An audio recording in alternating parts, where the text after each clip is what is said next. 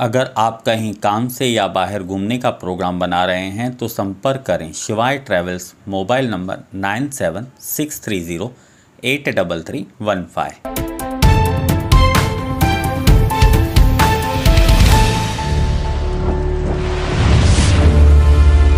Town Darshan news.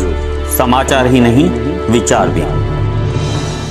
Ulhasnagar के central अस्पताल में डॉक्टर नर्स सहित स्टाफ के 10 लोगों को कोरोना होने की खबर सामने आई है, जिसमें एक डॉक्टर, पाँच नर्स, एक क्लर्क व तीन अन्य कर्मचारी बताए जा रहे हैं। अस्पताल के जिला शैल्य चिकित्सक डॉक्टर सुधाकर शिंदे ने नागरिकों को कोरोना नियमों का सख्ती से पालन करने की अपील की है। वहीं आज 12 जनवरी शहर के आंकड़ों पर नज़र डालें तो आज 12 जनवरी के दिन कोरोना के नए दो सौ इकसठ मामले सामने आए हैं। इसी के साथ शहर में कुल कोरोना मरीजों की संख्या चौबीस हो चुकी है।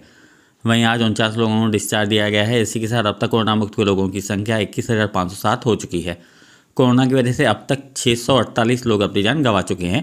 इस समय शहर के अठारह सौ नब्बे मरीज़ एक्टिव हैं, जिनमें से कोविड केयर सेंटर में सत्तासी, डेडिकेटेड कोविड हेल्थ सेंटर में तिरसठ, डेडिकेटेड कोविड अस्पताल में सत्रह, होम आइसोलेशन में पंद्रह सौ अट्ठासी व उल्लासन उनपा क्षेत्र के बाहर 135 लोगों का इलाज चल रहा है।